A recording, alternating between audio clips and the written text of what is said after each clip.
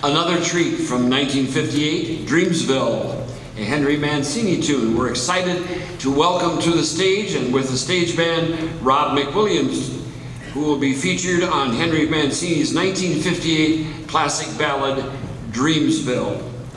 Terry.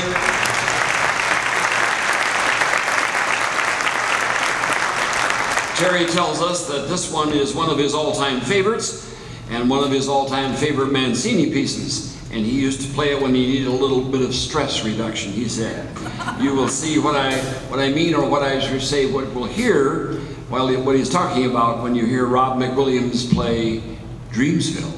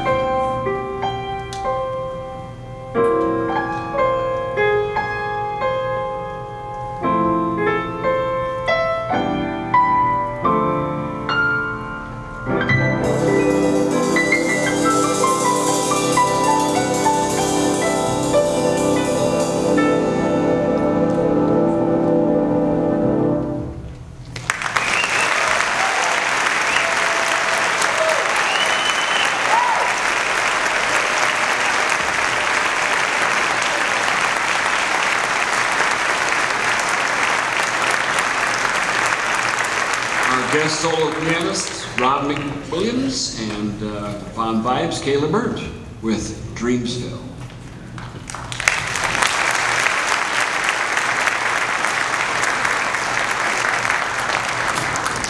That's the kind of music that Cool was designed for, right?